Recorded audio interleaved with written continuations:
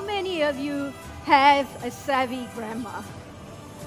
Uh, now you put all your grandmas together, you've got my savvy grandma. I've never liked losing personally. George, how did they do? Well, I got business day. You got to create some type of brand. Why people would want to deal with you?